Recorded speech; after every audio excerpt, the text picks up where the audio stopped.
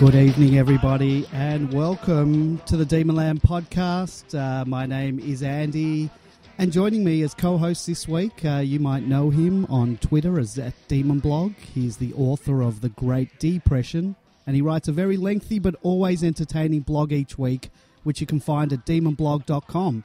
He's known on Demonland as Super Mikado. Super welcome to the uh, Demonland podcast. Thank you for having me. That makes it sound like I've got quite the identity crisis. I'm operating under a lot of pseudonyms. I think you need to sort of, uh, you know, just uh, bundle it all up into just uh, one one name. So uh, consolidate. Well, we'll see if I'm ever uh, forced into the witness protection program for what's written in the blog. I'm I'm through uh, 13, 13 seasons without being sued so far. So just keep on rolling and hope I don't have to change my name.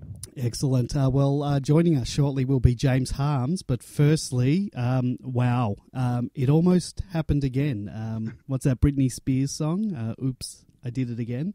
Um, were you nervous um, going into well, not going into that last quarter, in the last quarter. No, no, I was nervous going into that last quarter. I can uh, I can assure you that my my wife, the, the lovely Mrs. Demon Blog, uh, came into the room at three quarter time, asked the traditional question, "Are you winning?" Yes, I get uh, that many times. Yeah. And I said yes. But... and then she was, oh, well, I'm off to bed. See you later. And I said, if you hear loud noises and commotion in the other room, it's likely that we're throwing the game away again. Uh, and suffice to say that she and the neighbours uh, both heard me wailing and thrashing about a lot in the last quarter, and then at the end, you know, general shouts of triumph and actually quite literally uh, squealing when Betts hit that hit the post.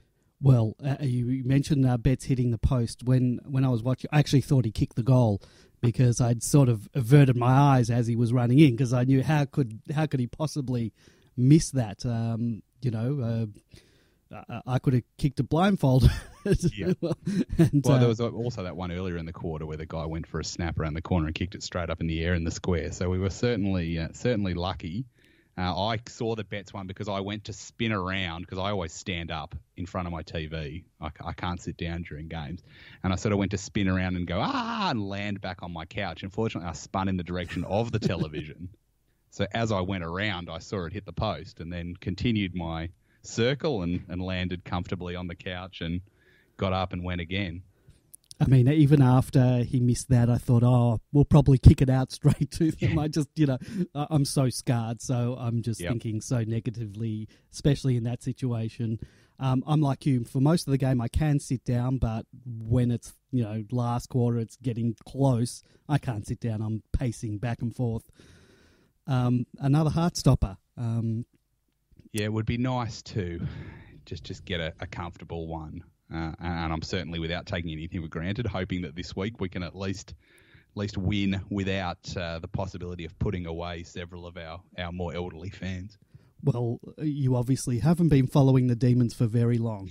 I'm I'm hoping that's the most important thing. Well, um, we're going to be um, I think we're going to take a break, quick break now. We're going to uh, bring on uh, James Harmes in a moment. Uh, we'll be back in a moment. Long kick inside 50. Harmes!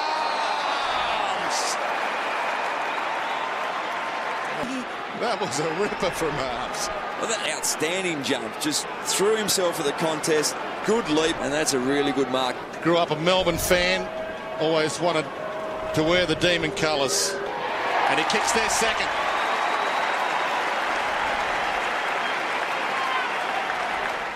Brayshaw centering bomb. Vince is under it. Harmes! Made it is. He's looked like a likely forward at different times. A couple of uh, good overhead marks. You'll hear the crowd go up. Every single one of them.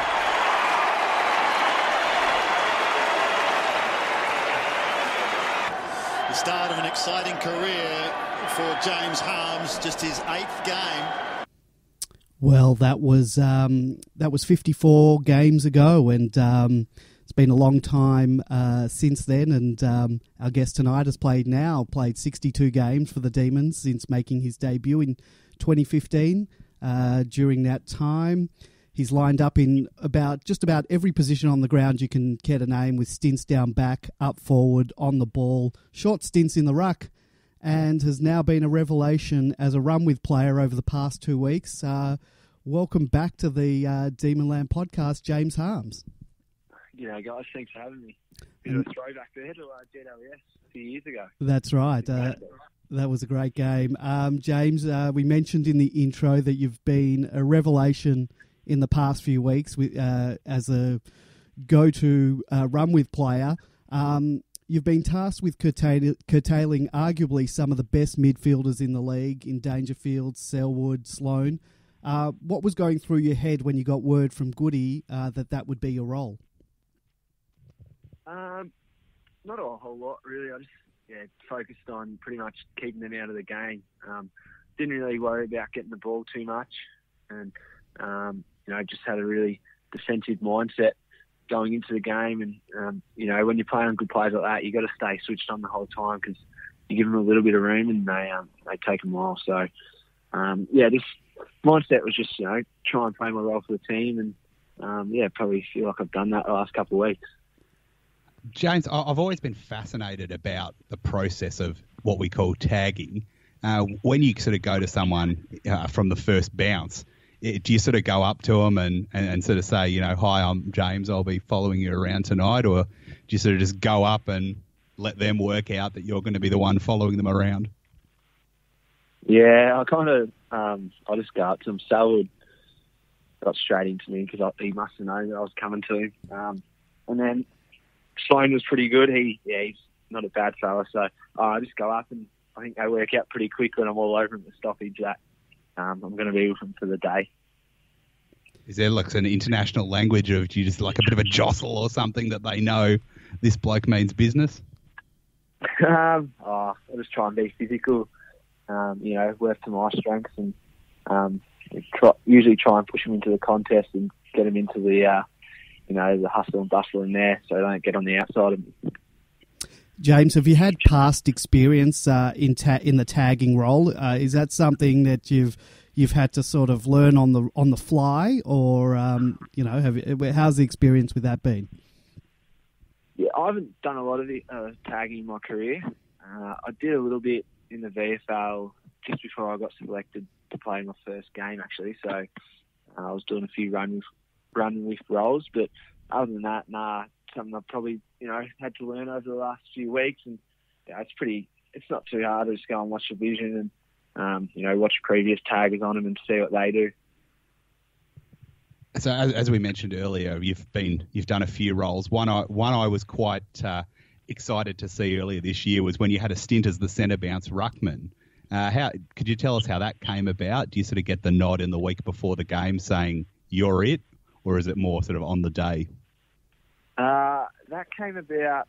Yeah, I remember we had a meeting day before a game, uh, and Goody told me that I would take centre bounce when Maxie's off, and uh, Tracker would take the ball ups around the ground. So, um, yeah, they warned us beforehand, but definitely not keen on getting back in the ruck. It's definitely well, I, big boys, I, not for little fellas. I've got good news for you. My mum, who is a very irregular uh, attendee to the games, she was just happened to be taking photos that day, and she took a photo of your first centre bounce hit out. So if you ever want to frame oh, that beautiful. on your wall and remember remember the day, uh, we've got the picture. Show Dorney. Uh, uh, James, uh, I thought you did an excellent job uh, in keeping Sloane to 17 possessions and then you know, impressively racking up 23 of your own. How do you find the balance between like keeping your eye on the player that you're minding, but then also finding the ball yourself?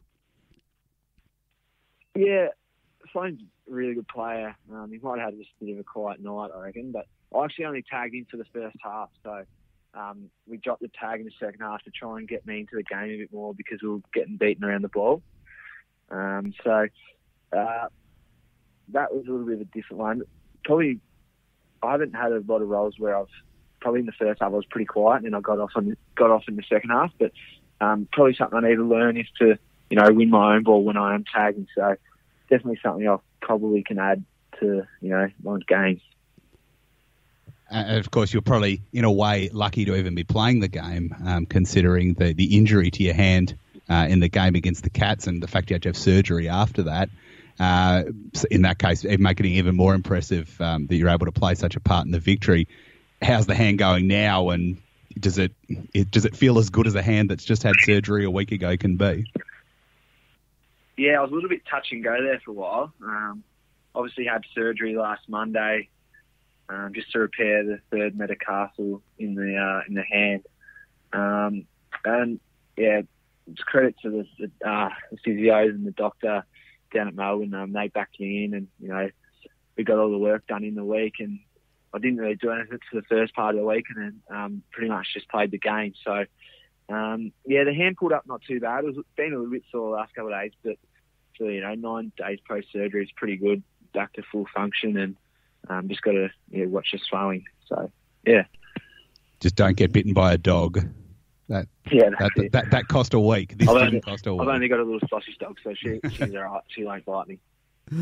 Um, uh, James, uh, it was an amazing win on Saturday night, but early in the game we found ourselves three goals down. You know, we're away from home with a very vocal crowd. What was the message at, at quarter time? Uh, yeah, we're, we're, probably lacking, uh, you know, our contested area.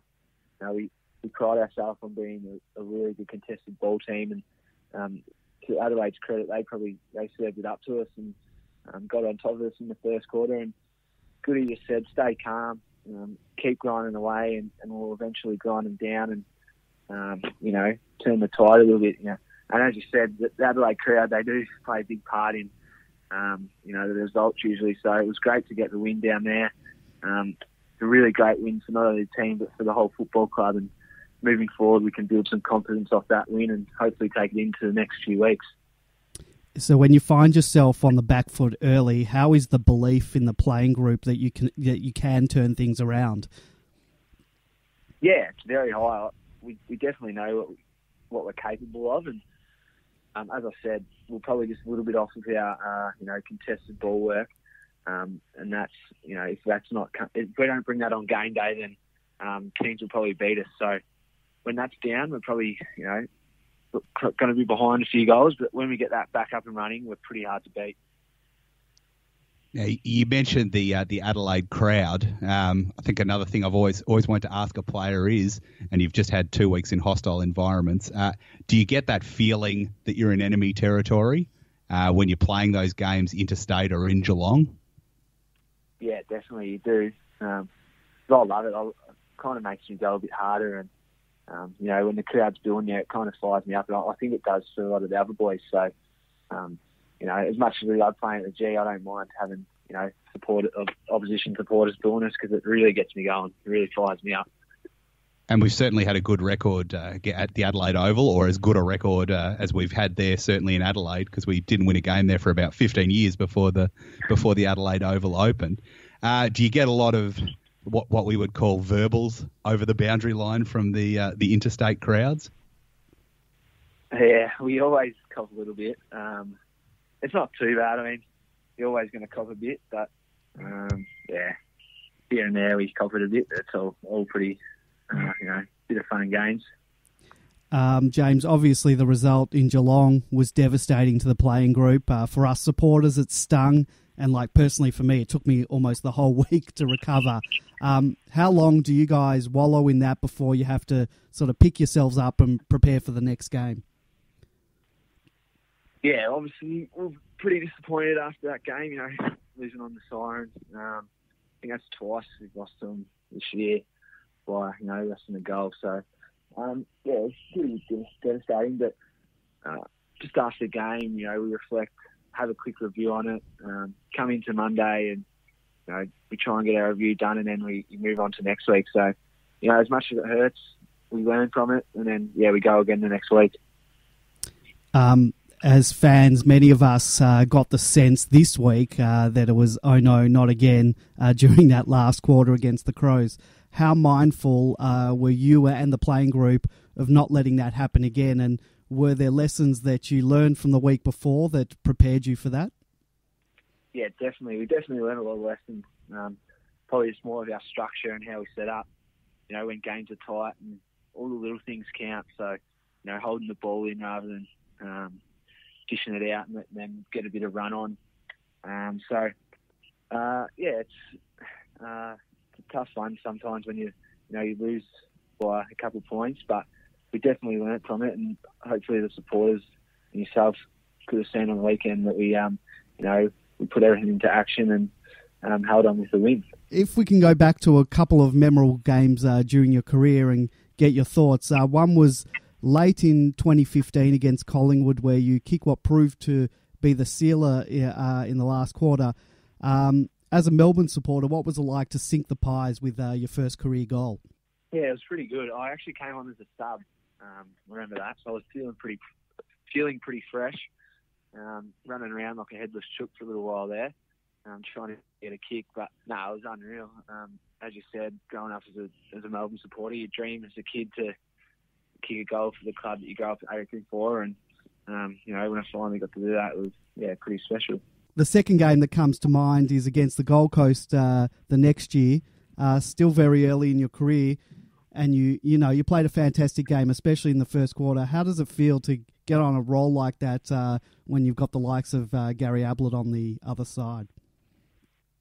Yeah, I did. I think I had 15 in the first quarter of that game. Um, most of it I had in the quarter. So, um, yeah, oh, I just remember I was playing on the wing and I felt like it was one of those days where the ball just kept falling in my lap, to be honest with you. Um, you know, to play against Gary Ablett, he's probably going to go down as one of the greatest of all time. You know, you kind of pinch yourself every time you're out there next to him. So, um, yeah, it's, it's great, great fun playing next to him. And, um, yeah, as I said, you kind of pinch yourself. Well, you must pinch yourself uh, playing playing with the likes of uh, Maxi Gawn and uh, Clarry Oliver. Um, at the moment. They're they're just killing it. Yeah, absolutely. Big Max is bloody dominating, and um, young Claz, he's already a star, and you know, pretty exciting to think about you know what he's going to be like in three or four years' time when he gets a bit older and more mature. But at the moment, geez, he's uh, playing some good footy. Oh, he, he definitely is. Um, James, uh, it's a favourite pastime of us fans to go through all the possible permutations with uh, the ladder predictors to see um, what stars need to align for us to make the finals? How aware are the players of all those calculations needed, or is it just a simple matter of just going out there and if we win, then we're in? Uh, I'm not really too sure on the, the calculations and whatnot, so I'm not sure about the other boys. But um, at the moment, yeah, I guess I know it's one of those common cliches that you hear every week, but you know, there's four weeks left, and um, you know, we'll probably just take it week by week and try and um, you know get as many wins as we can. Um, you know, it's a really important match this week against Gold Coast. Um, you know, it's a bit of a danger match, so we've got to go out there and play the same way as we did the last few weeks. And I'm sure if we do that, then we'll uh, we'll go a long way to winning. Absolutely. Well, uh, you know, our destiny is in our, in our own hands. Um, you know, we just uh, good luck to you and the boys, and bring it home for us. Um, James, thank you once again uh, for joining us on the Demonland podcast. We really appreciate your time, and uh, as I said, good luck for the rest of the season. Thanks, Charles. Thank you heaps for having me. Not a problem. Thank you. Cheers. That was uh, that was James Harmes uh, joining us uh, on the Demonland podcast, and we thank uh, James and the Footy Club for for generously uh, giving us their time. All right, welcome back uh, to the Demonland podcast. Uh, it's been a comedy of errors, kind of like the D's circa. What, what, year would you say that was circa? Oh, I'd say my performance with the microphone there was a Mark Neeld era 2012, early 2013 style debacle. yes, definitely. Um, yeah, we just had some microphone issues, uh, but we're, but we're back um, and hopefully firing on all cylinders. Uh, thank you for uh, bearing with us. If you're still listening, if you're listening to this on a repeat, well, you missed all the fun. Um, we, we, hope be, there's a generic, uh, generous editing to be done. This reminds me of uh, the times I used to call Finey's Final Siren uh, back in the day. I rang up once to defend the honour of Brad Green after we beat Essendon uh, in 2011, I think, and I, I rang up once to defend the honour of Stefan Martin when we beat Brisbane in early 2011. So I think that was actually my last ever call to SEN. So it really remits having a telephone to my ear speaking about footy really brings back some great memories of uh, ringing up the radio and saying stupid things. Well, I hope you're uh, talking on a rotary uh, phone. Uh, oh, I'm just hoping to. I'm just hoping the next caller on the line is Christian Campbell. well, in case uh, you couldn't tell the difference, uh, that the, we I am still talking to uh, my co-host Super Mikado. Uh, he's had to get on the uh, the old landline. Well, I think you are on a mobile, but we'll call it a landline. Um, which means we won't be able to take any other calls. Well, we I probably could, but it would probably end up hanging up on you. Um, someone can try calling if you want. Uh, zero three nine zero one six three triple six. That's zero three nine zero one six three triple six, or you can give us a call on uh, Demonland thirty one. Uh, what I might do is while we're just talking here, I might see if I can what happens if I sign in on my other computer. Um, under the, the Demonland 31 account and see what happens. Um, not sure whether you can have it's, two. It's a shame I got the uh, I got my microphone committed hara-kiri halfway through that interview because I really wanted to ask uh, James what it was like to be a sub back in the day because he, he mentioned that that Collingwood game he came on as a sub. I really wanted to know like what was the what was the process they went through and what did it feel like just to sit there watching the game for, for three quarters, waiting to be uh, to be given a chance? So I have to ask him that next time. Yeah, well, uh, considering we've had him on uh, twice in two months, uh, probably sometime uh, in October we could be speaking to James. We could invite him into a real sort of lights out segment at the end where he you know, pulls up a, a random picture on Demon Wiki or something as well. Yeah, and I apologise for the Skype calls. Uh, Skype is the bane of my existence at the moment. Um, they have changed everything. I hate Microsoft. They've uh, bigger shambles than the, your microphone issues at the moment. Oh, uh, I'm glad it's only in the top two. Yeah, because there is no way to turn off the Skype sounds um, anymore. Um, so you're likely to hear sounds like you just heard uh, going off if someone tries to call. Someone did actually try to call, but it would what it would have done if I'd answered it, it would have put you on hold while I talk to them, and that's just not going to work. But I have. I have opened Skype on the other computer, so if uh, that caller would like to call back, we'll try and get you on um, in a moment. So, yeah, give us a call back. Um, but while we're waiting for that, uh, we haven't really talked about the game. Uh, we talked about our emotions in the last quarter, but um, let's talk about the game. Um, how were, how were you feeling? How were you feeling early on? Uh, we were twenty points down before we even got on the scoreboard. Uh, were you ready to? Um, there was there any wrist slashing almost going to happen? Um, I, I, certainly we've thought. Pulled we, out of, go ahead. We've pulled out of a hole of three or four goals so many times in the last few years to at least give ourselves a chance and, um, the and, record is very much still in favour of losses. And in, in Adelaide as well. And in Adelaide as well, we did it. Um, Correct. Um, and I was hoping this time we might also yeah, plough on to a seven goal win after we did that. Uh, that look, I was worried because in that situation you're always you know two minutes of ma- two minutes more of madness away from being five goals down, um, and in an enormous hole. Um, but I, I did want to hold on and just wait before I before I totally lost the plot. And, and look, I thought we were very lucky to only be nine points down at quarter time, um, but that's what gave us the, the second life. Uh, and then we, we weathered a sort of a, a, dud five minutes at the start of the second quarter as well, uh, and stayed within range. And then for, again, third quarter for the third week in a row went bananas uh, and set up set up the margin that we uh, successfully built a fort and defended. Uh, yeah, um, that third quarter was uh, that was great. Um, uh, seven goals. Uh, it seems like, and there was a thread on Demonland this week about our third quarters. I think we've won fourteen uh, this year, and we've lost a couple by just a few points. Um, but I just love those seven goal quarters. Um, we really turned it on. Um, I, one well, it's game changing. Uh, yeah. A third quarter blast like that is game changing. Like in the first quarter, there's a lot of times, probably not of seven goals. There's a lot of times we've kicked four or five goals in a first quarter, and then you know one goal in the second quarter. And I know we sort of did that this time, but the last, the, the gap was the time was enough. The time versus the points margin was just enough to, to keep us afloat. So it's it's very important. Better in the last quarter, obviously, but the third quarter is so important to get a break there as well. So if we're going to be great in any quarter, I'd rather it be the last, but I'm very much happy for it to be the third as well. Um, that last quarter, so the rain the rain came down. Uh, did you? I mean, what was your thinking at the time? Did you think the rain would help us? Did you think that would work against us? And did it help or work against us?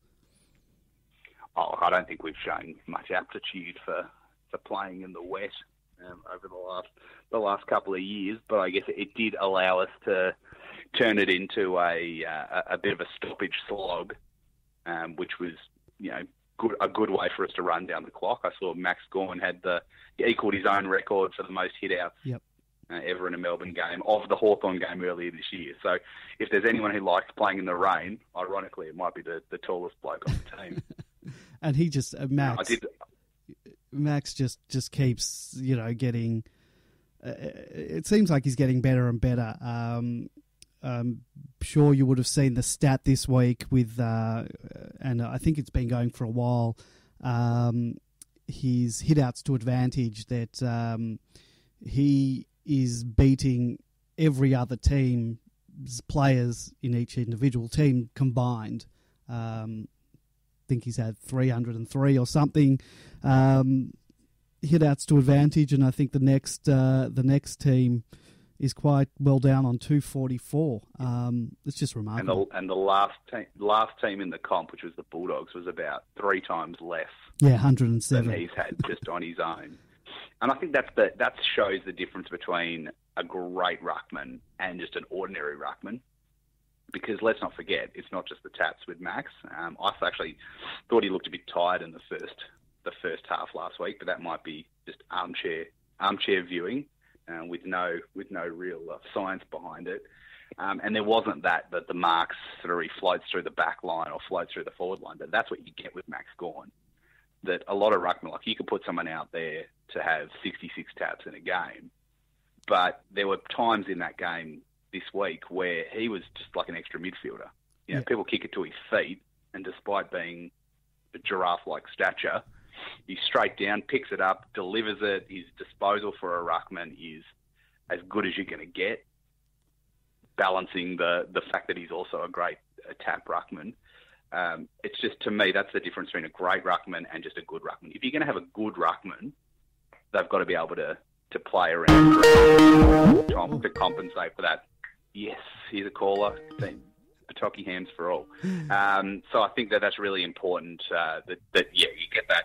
If you're not going to have the great ruckman, you may as well just throw anyone in there who can who can jump. You may as well bring your James Harmes of the world up and say, "Bad luck, you're taking the centre bounces." Um, because you can do stuff around the ground as well. There's there's just no point now having someone who's only a good tap ruckman and nothing else. Yeah. Uh, caller, uh, you're on the air. How you going? Yeah, boys, how you going? Yeah, not too bad. Who are we talking to? Uh, my name's Alex. I'm actually uh, not a Demonland member, but that's all right. Just re- just recently started listening to your podcast. Oh, thank you very much. Um, well, it doesn't matter that you're not a Demonland member. We're always happy to hear from our listeners. Um, I am a uh, big footy member, so I'm one of those assholes. But uh, but yeah, my friend uh, who is a Demonland member put you put me onto your guys' podcast a few months ago, so I've been listening since then. Oh, thanks, mate. Uh, well, I hope you're hope you're enjoying it. Uh, we're certainly not uh, experts on it. Uh, we're just like every other mug. Uh, you know, watch the game, and you know, sometimes ah, yeah. we all agree with each other. Other times we don't. Um, yeah. What do you What do you think of the game on the weekend?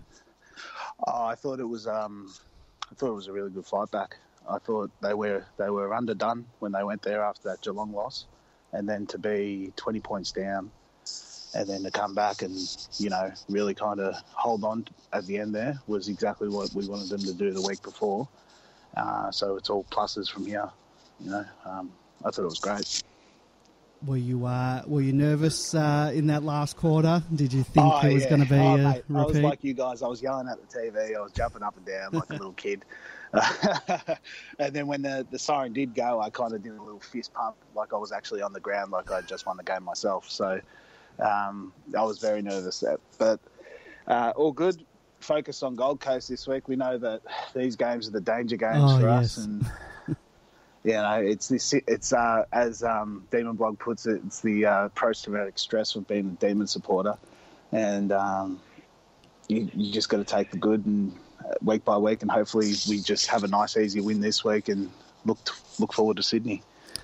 Yeah, well, um, I, I don't like getting ahead of myself. Uh, I know we should beat uh, Gold Coast, um, but no, I don't want to just beat them. If we are going to beat them, I, I, I think we need to start. We need to consolidate that uh, percentage. Obviously, I'll take the win over anything, but uh, yeah, we're uh, and we'll talk about it a bit later.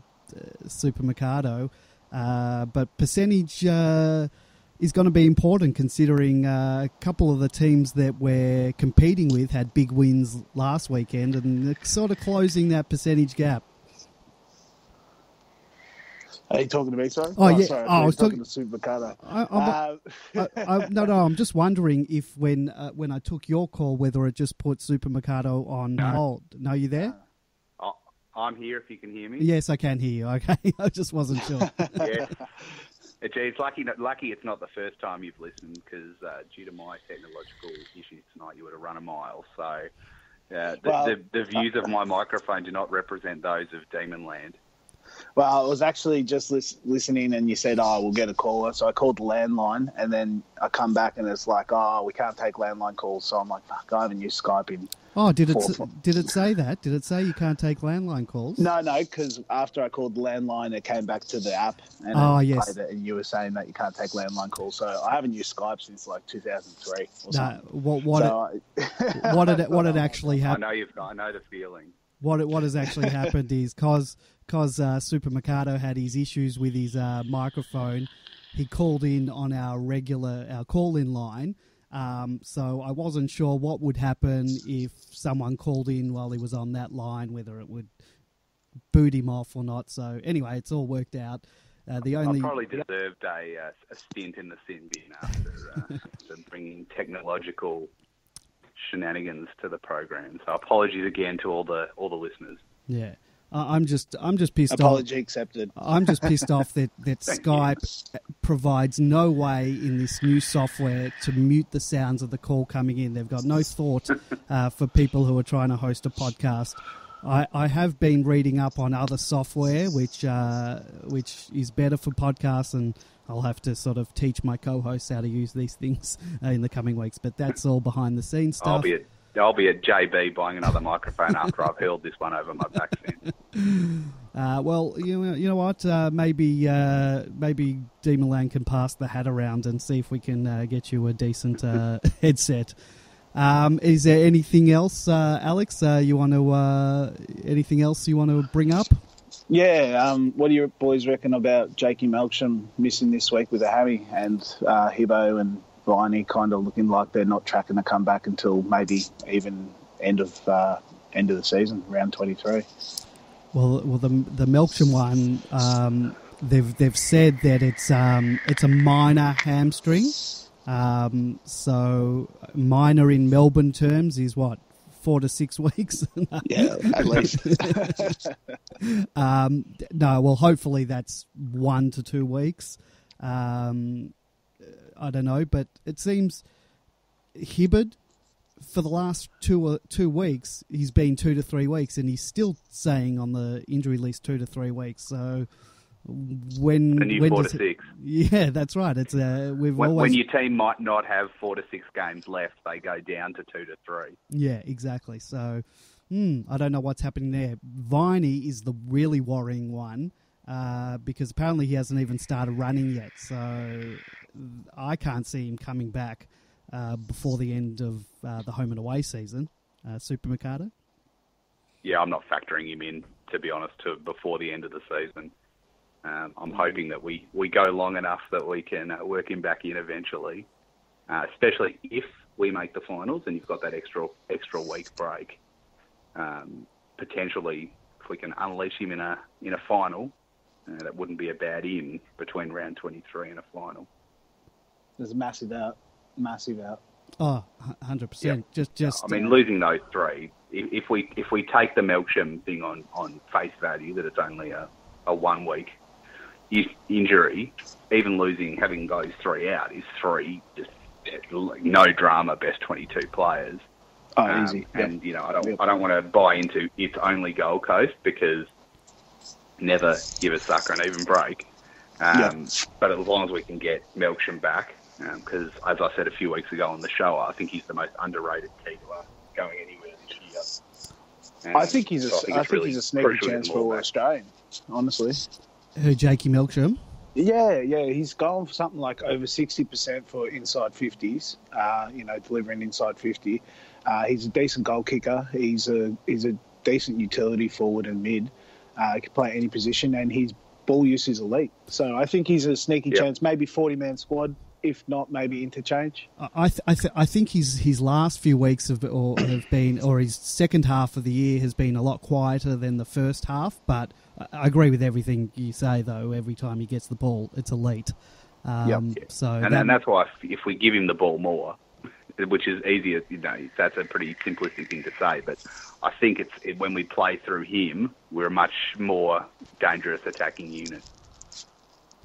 Yeah, hundred percent uh, it's it's going to be a crazy, crazy uh, month. Really, I think if we can bank Gold Coast and then hopefully beat Sydney, uh, I reckon that those last two games are uh, up for grabs. You know, West Coast and uh, GWS. I think we could beat West Coast over there. I'm not too impressed with West Coast, to tell you the truth. Yeah, neither um, am I. I would love to get. I'd love to get the next two wins. I don't want to yeah. say, don't want to get ahead of myself, but I'd like to sort of bank those two, and I'd be breathing a lot easier. Um, and then I think, uh, yeah, I agree with you. I think uh, West Coast are beatable. Um, yep. But I wouldn't want to have to bank the, our getting in on the finals on having to win that game. I'm going to go out on a limb. I'm going to say we're going to bank the next two, and then we're going to beat West Coast. That's what I'm saying. well, we're, we're... I'd like to move the West Coast game to Hobart because if last week's game was anything to go by, West Coast, uh, I wouldn't be bothered turning up. I knew that they were going to lose that game. I was so confident. If I was more of a betting man, I would have uh, put money, a lot of money on on uh, that uh, that yep. occurrence. It's eleven to one for Gold Coast to win this week, so maybe that's a punt. Uh, you know what? It, it, it, I'm a I'm a scarred Melbourne supporter. If you've listened to this podcast at all, you you know that. So I never this. It reminds me of the Brisbane game last year a little bit. Um, yep we really needed to bank percentage in that game, and we nearly even lost that game, if you yeah. remember. Yeah. Um, yeah. Well, I think the line is 67 and a half, I'm told, by the gambling community. So wow. I wouldn't I wouldn't say that wouldn't be a bad bet, considering, yes, we need to bank the percentage, but we probably also need to uh, put a bit of you know, rest in in the last quarter if we get too far if we've got too much of a buffer, they might rest a few of the, the key players who have looked a bit tired recently. So I'd be yeah. pretty much satisfied if we won by 67 points. Yeah, and, and, look, percentage percentage isn't as a bigger factor this year as it is last year. Um, yet, yet we uh, that's what I want to sort of bank some now. So in case we have a big loss down the track, um, that it, it doesn't uh, doesn't damage us too much. Um, yeah, well, that um, St Kilda game they dropped this year, off the top of my head, I think they were fourteen to one to to uh, St Kilda was to win. Oh, really? Lost that, yeah. So that's massive. I can't believe um, they. I can't believe they'd be a bigger outsider than Gold Coast. Like, well, just, it's, they're pretty bad, and we it lost. just them, couldn't so. happen, but. I don't know. Yeah, like you say, we've we've seen too much. I need a couple of I think flags in the tank before I'm going to go into any game any time convinced oh, yeah. we're going to win. I mean no, that that loss that. that loss to St Kilda is is killing us because had we won that game and a win this week, probably would have sealed us uh, into into the finals. Uh, yeah. yeah, yep. and yeah. then we could have breathed. I, I mean, everyone's easier. got there. Yes, Geelong yeah. lost to the Bulldogs. Yeah. Hawthorn lost to Brisbane twice. Like, yeah, this is where you know when you're an idiot like me and do ladder predictors from about round seven, and try and predict it, predict the rest of the season from then. Um, there's, there's basically no point doing it because teams are going to go out and lose ridiculous games that they shouldn't lose. Um, and I very much hope that, that St Kilda was our contribution to that for this year, um, and that the game we absolutely should win this week, uh, we do, and then we treat the last three weeks as should start favourites against Sydney, will start underdogs against the Eagles, and then GWS that could go anywhere um, in the next four weeks. They're three games that are, are much closer to 50-50 than this week. I don't even want to contemplate uh, what's going to happen if we don't win this week. How many people do you reckon would have shown up this week if we'd lost to Adelaide? Uh, uh, as in, uh, I reckon we could have gone under ten thousand. As in, uh, turned up to the to the game this week. Yeah, I, I, if we'd lost to Adelaide last week, GW uh, Gold Coast will bring about 150 fans. I reckon we could have challenged that GWS game at Etihad Stadium a few years ago, where we uh, smashed the record for the lowest ever crowd at Etihad Stadium. I reckon we could have gone for a similar uh, at the MCG. But now everyone's pumped after the Adelaide game, and I would suspect we would get what passes for a decent crowd against the Suns. Well, there was a thread on Demonland this week about whether people thought we would beat the previous um, uh, highest crowd for a Melbourne Gold Coast game, which I believe was uh, it was twenty seven thousand something a couple years ago. Round, uh, round one. Yeah. Do you think we uh, we sh- do you think we'll top thirty? No, I, I remember I don't being so. at a um, Melbourne GWS game. I think in I, I can't remember if it was 2013. I think there was only 8,000 people there. Yeah, that was that was the, the one at Etihad Stadium in the last round, our home game. So that that had all the factors. Our home game at Etihad Stadium in the last round after a season where we'd got better, but we were going nowhere. Uh, and just the fact that it was the last round, so people couldn't be bothered anymore. And I think it was Father's Day as well. Uh, and, and we, managed to yeah pull we, we we beat it by about three thousand the previous low at uh, Etihad Stadium, uh, but we we wrecked the uh, the hoodoo on that day, which often gets forgotten. That was the day we put the Etihad Stadium hoodoo to rest. I, am thinking about one at the MCG where we actually lost to GWS and it was the last game of the round. Oh yeah, I remember that well. No, I think I think that was that a little was bit worse. more. Um, I remember that game that they actually were. I think they were down to one player on the bench in the last quarter and still one running away. Uh, yes, that was the first and last time in my life I've ever been warned by a security guard about my conduct. Somehow we always seem to get into depression talk. Uh, uh, I love it. Oh, it has been the last 10 years, hasn't it? Oh, yes, it, it is. Uh, and if you want to read about uh, our, our, depression years, uh, my uh, friend uh, Super Mercado uh, does have a book out called The Great Depression, uh, which you can, which you can get where uh, Super Mercado. You may as well give it a plug. While or you can go to demonblog.com. Uh, you can also get it on uh, Kindle on the Amazon store. Um, and I believe it's been banned in several states due to the the psychological impact it's having on the readers. Uh, no, I do. I do read the Demon blog, so I, I, enjoy that every week. It's like a look into my own mind with better language. So keep putting those yeah, out there. The really enjoyable. Um, anything else, Alex? Uh... No, no, just a shout out to uh, Johnny Raff, uh, who put me onto your podcast. And uh, thanks, boys, and keep it up, and I'll speak to you soon. All right, not a problem. Thank you for joining the show, and uh, yeah, give us a call uh, another week. All right, see you, boys. Have a good one. Thank you. Thank you. Well, that was uh, that was uh, Alex uh, joining us. Not a Demonland member, but you don't have to be a Demonland member. You have to be a Demon fan, and uh, that's uh, what we all are. We're all in the same asylum uh, together on this on this journey. Um, We've got each other for comfort. That's what that we do. Um, I, I, wanted to bring up it was uh, Geordie Lewis's uh, 300th game. I thought he had a had a ripper, uh, kicked two cracking goals, almost identical to each other. Um, I, I, like uh, Jordan Lewis kicking goals. Uh, I mean, playing in defense, deep in defence, sort of as he does, he doesn't really get there. But that that was nice. Um, yeah. As far as goals go, it, it, kind of just ranked below that Carlton one last year, where we rorted the uh, we rorted the clock in the last few seconds uh, to to run the clock down, and then I think he kicked, might, might have kicked the goal after the siren, just to, to add an exclamation mark on the game. But uh, yeah, they were certainly. I think the first one perhaps was the second goal of our our first two when we were in the hole. So came at a came at a very opportune time. Look, I agree. I, I've been critical of him on this program and previously on the blog, but I thought he had a, he had an excellent game. So if you can't, uh, you know, if you can't celebrate your 300th with a win and an excellent game, uh, well, I guess I wouldn't know because we've only ever had one 300. yeah. And we I, lost I suspect it. He's, I suspect he's only the second player to ever play their 300th game for us in any in any capacity. So, so we haven't got much to work on. I saw a statistic of uh, players that had pl- either played against us or for us um, for their 300th game. I think it was a list. Well, there's only one previously before Jordan Lewis uh, for us, but there had been about five or six who had played their 300th against us.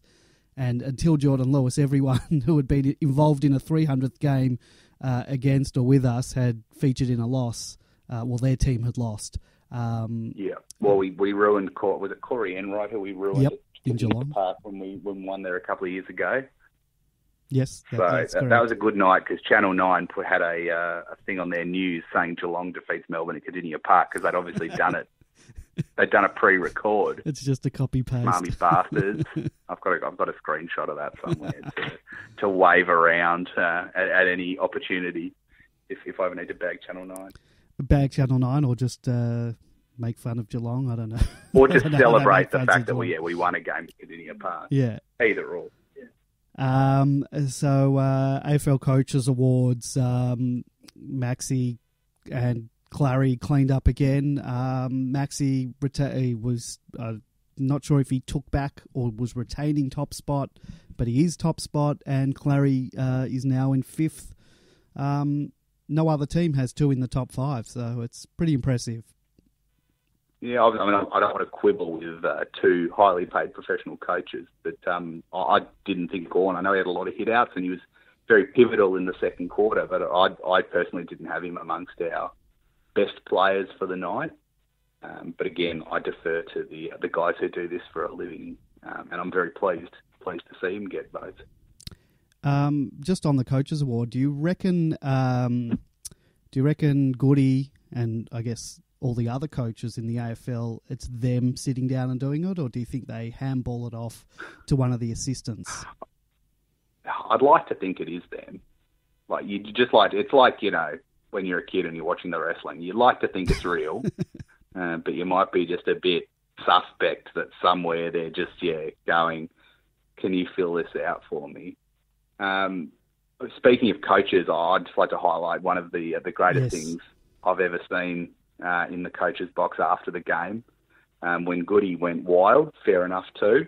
And he gave uh, AFL ex Premiership coach Craig Jennings a, a, playful whack over the head, and Craig just gave him nothing. Well, he just he, he just kept staring forward. It was one of the funniest things I, have watched it about seventy five times uh, in the last week because it just amuses me every time. Now, what do you think that was all about? Um, so I said, like, you you posted that video on uh, Twitter. I replied saying it was a visual representation of uh, our other co-host who uh, couldn't make it this week, uh, giving me an "I told you so," you know, keep the faith type of thing. Do you, th- yeah. do you think there was something like that going on there? Like he slapped him, sort of saying, "See, I told you so." Maybe he had been a negative Nancy in the box or something. Even, he didn't even have the emotion before Goody got to him, though. He was just staring. Oh, like, stone cold. Dead ahead. Yeah. Like he was just in the zone. Like he's my new favourite off-field character now. He's like, you know, in some ninja, um, you know, psychological stance, just watching the game. Well, they. They say he's the mastermind, and I always get a bit, um, I get a bit of post-traumatic stress when I hear the mastermind because we had a coach come over from another club who was supposed to have been the mastermind of a uh, of a premiership. Uh, but yes, well, he, he's won an AFLX premiership. Yes, he is a he as is a premiership coach. coach. So him and Jake Melksham, the, the greatest AFLX duo of all time. um, I like one of the uh, one of the theories I saw on, Twitter was that uh, he wasn't happy that uh, we'd sludged out the game, which I, I don't think is an appropriate uh, appropriate uh, conspiracy theory, because I'm sure he would have been extremely happy uh, that we won. But if he was extremely happy that we were won, he certainly was not displaying it. So I'd really just like to, uh, I'd just like to to hear more from Stone Cold Craig Jennings because uh, he's he's definitely gone up in my estimation uh, after that performance. We might have to try and get him on the on the program. Um, You should, and then you should like whack him behind the head and just see what happens. Do a video. Gee, I was, I'm glad he wasn't on when I uh, was having my technological issues. He might have come into my house and bloody yeah, like given me uh, a kicking. Maybe we'll turn it into an ice bucket challenge. Well, Um, we've got in the chat room. Jennings was quiet after T Mac stunner at West Coast last year too, which makes one of us because I was on the floor of my living room screaming at the top of my lungs.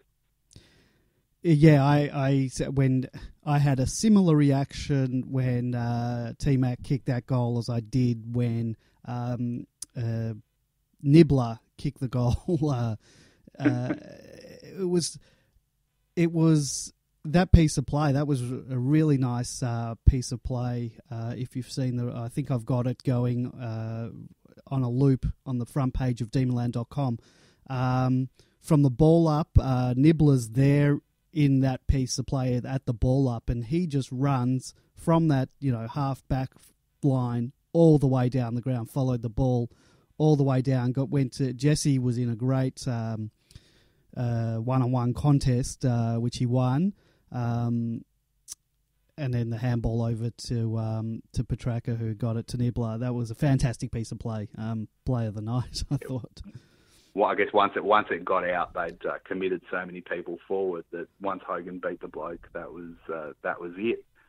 Um, it was funny that they, they sort of persisted for a long time with our old mate Kyle Cheney, uh, Yes. sort of sitting as a loose man in defence, even in the last two or three minutes. Um, I guess they were just in the hope that uh, we weren't going to nick one going the other way, and that they could get one, which they should have, uh, if if Betts hadn't had that uh, that brain fade and put it into the post. Um, but I guess what were the we drafted Tom McDonald with the pick we traded Kyle Cheney to Hawthorn for. So what were the odds that seven or eight years later they'd be playing on each other uh, in a back line and a, as a defender and a forward?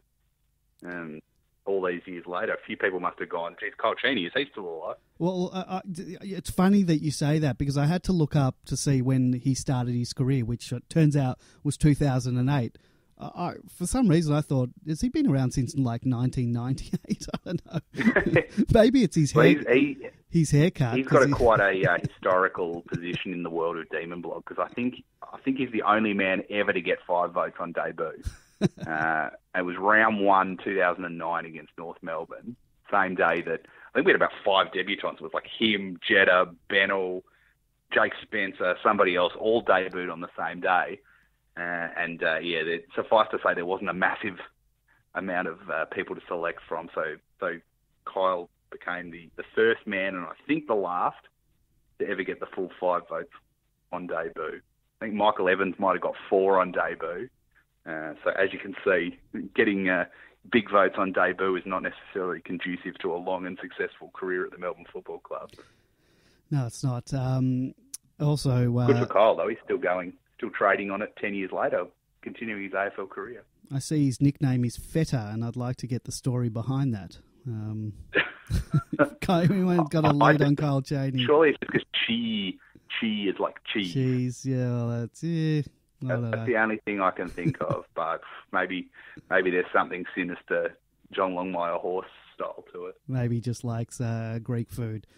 Um, uh, moving on, do you ever um, uh, take a peek over the fence? And what I mean, do you ever, uh, after the game, go over to the you know opposition message boards, uh, whether it's through Big Footy or um, I don't know. I'm sure there are other there are standalone demon lands for other clubs.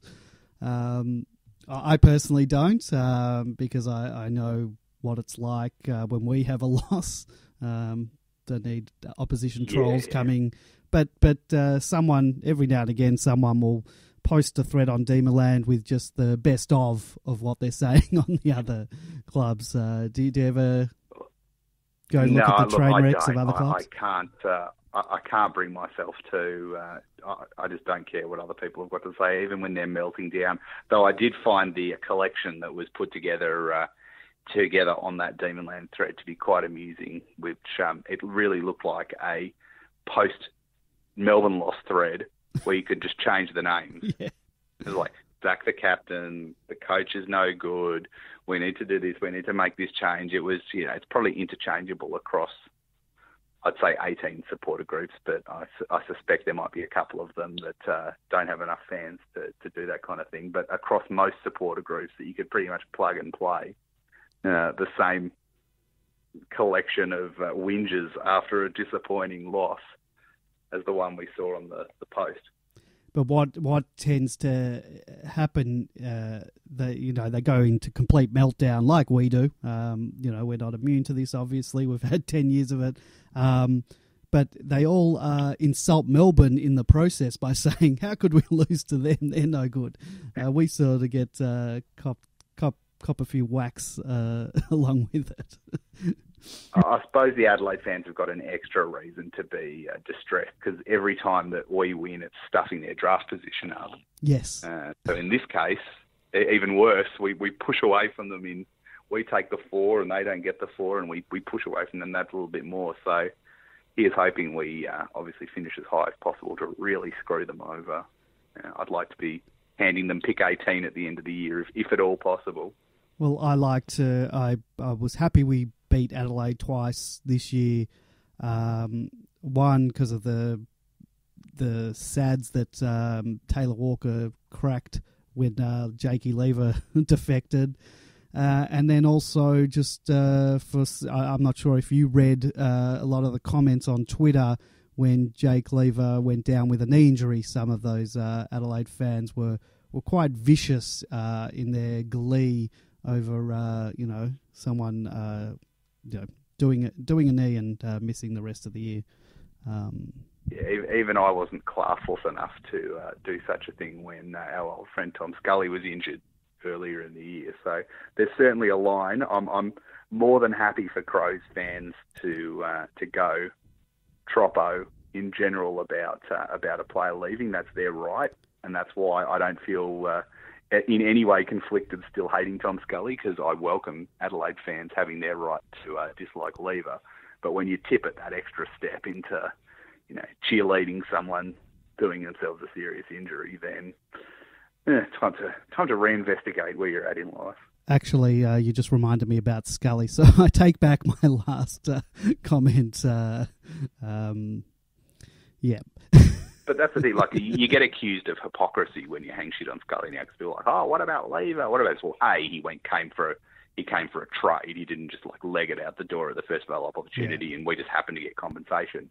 But b again, who's who's saying don't get upset, Adelaide fans, or you know when Mitch Clark came and oh you got you took Mitch Clark. Who's saying Brisbane fans don't get upset? Like bring it on. I was originally going to go to this Adelaide game just because I wanted to be there for the the carnival of hate atmosphere to see what it was like. And then obviously when when Lever did his knee and we started wobbling a bit, I, I chickened out to to my detriment as it turned out. Um, but you know, I think it's great. Like, no one's ever done a better carnival of hate than the day we did when Scully first played against us. The the sheer comedy value that our fans put out that day has never been topped. Uh, and I, I, suspect the, the Crows fans wouldn't have been able to provide such a uh, comedic experience themselves. It probably would have been uh, a bit Kardinia Park, people getting kicked in the head again. Mm. Yeah, I'm not sure uh, they would have been able to come up with that that money bags routine. that's a that's a classic. Correct. Did I ever tell you about how that guy had to go to a, a wedding like a Scully family wedding, like two weeks later. No, but please, uh, so, please. So, so, so, he comes to the game and he's got these big money bags. I think I'm sure everyone's seen the photo. Yes. And he says, "Geez, I hope I don't get, I hope I don't get caught on camera." I thought, well, why? We've Isn't got that the whole like, point? Yeah, I know, but in in two weeks' time, I have to go to a wedding of one of the Scully cousins or something. It was a very close to the to the inner circle of part of that family. Uh, and then the very first thing on Channel 7's coverage that day is him shaking the money bags. Uh, it was just when I got home and, and sat down to watch the replay, um, which also at one point showed me wearing a Mexican wrestling mask. uh, the very first thing was was this guy shaking the money bags. So uh, I just I always wondered how he went at the wedding. Oh, so you a don't couple ha- of weeks later. You don't have the follow up story to that. No, I don't. I don't actually, unfortunate. I, I wish I did. I should. I actually do. He's, he's a Facebook friend of mine. That guy. So I should ask him one day how the wedding went. If he got glassed in the, uh, you know, halfway through the reception or something by a, a mysterious assailant. Well, we might uh, we might need to get get him on the show one week. Get him on. Maybe. I'll, I'll say all the people, like the guy who the guy who held up the Judas Thirty One banner that I was on the other end of, which I still have uh, in my collection now. He generously allowed me to to keep that uh, at the end of the day. So that's the jewel in the crown of my Melbourne Football Club memorabilia collection. Well, you could get uh, either one or both of the uh, money bags uh, and get the set. Uh, yeah, you'd be. Uh, yeah. Have got them on the day as well. Yeah, disappointment. I, I just wasn't thinking straight. Um, uh, Jesse Hogan. Um, did you did you get the feeling that I mean he looked looked a little bit injured? Um, um, he was in the hands of the trainers at sort of three quarter time, and you know they were saying knee groin, ankle. I mean, there were a few different things, but he, he did look a bit out of sorts to me. Yeah, I I, thought ankle, um, and then he, he kind of went out in that contest and got bumped, and that didn't help him either. Um, yeah, I, I thought even before he was in the hands of the trainers that he just looked looked like he was struggling. Um, so I guess if we've if we've got to this point of the week and we haven't had the the mysterious injury where he's got to miss one week, the it's only Gold Coast injury, um, we must be pretty sure he's he's good to go. Uh, but it's certainly certainly concerning. Yeah, well, I'd hate there to be some ongoing niggly thing that we didn't sort of give him a rest. Uh, forget the, the, the Gold Coast thing or not. Um, if there is something wrong, I'd prefer to him to miss now than yeah, than later on. Absolutely. But, but I don't know. Yeah. I, I, don't think they would risk um, something with him. So perhaps there is nothing. But uh, he definitely. Yeah, I think if he plays this week, we've got we've we've got to be pretty sure that there's nothing uh, seriously wrong. You know, I guess players play bumped up and and you know with with a few minor injuries throughout the year. Um, but if he plays this week, we've got to take their word for it that there's nothing major wrong. Um, there was the oops uh, thread of the week. I'm not sure if you're you're aware of um, of this that that occurred on Demonland during. You did or you didn't?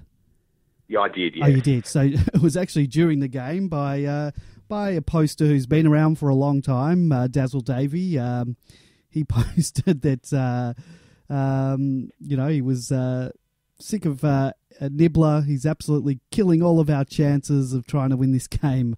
Uh, and then, you know, had egg on his face, uh, I think, uh, a bit later in the game when Nibbler sealed the game. Um, we, have all been there, I oh, think. Uh, I've been there many point, times. We've, we've gone early. Uh, I had one Queen's birthday last year. Uh, I think maybe at half time we were God knows how far behind, but we were certainly not playing particularly well. And uh, I went off on one on Twitter, and then a few a few loonies who I who must have seen it retweeted by somebody else came in. Oh, you, you know, we won. Support the team. All this kind of stuff, and it's like just you know, just chill out. We all lose the plot at certain times, uh, and you know, when it's a situation like this, we're very happy to be proven right uh, which I think is why sometimes it's easier to be negative because at least if you're wrong, you'll still be happy. Whereas if you come in sunshine and rainbows uh, and it all goes wrong, you're left with nothing and you were wrong. Well, I had someone write to me on, on Facebook through the Demonland Facebook page, which you can find us uh, uh, facebook.com slash uh, Demonland31. I had someone write to me saying, oh, based on uh, my emotional uh, uh, uh, monologue at the beginning of last week's show, um, saying, I can't believe you've got no faith in the team, blah, blah, blah. And I said, I, I, wrote back to him, I said, I think you missed the whole point of it. I was just saying how much that loss hurt me. Like I said, I know we've got the talent, but I it does. It was more about my disappointment of the game and how much it hurt me. And it, it, you know, it was the second well, time in a long, long time. A, can we get a rundown of what exactly the club has done in the last ten years plus that uh, indicate that you should have faith in them. Like, I have faith we're heading in the right direction, and the fact, the faith that we have the best list we've had, you know, since maybe 2002. Mm. But at the same time, there's a lot of trust to be won back uh, before you know we we go and start assuming automatically we're going to go places.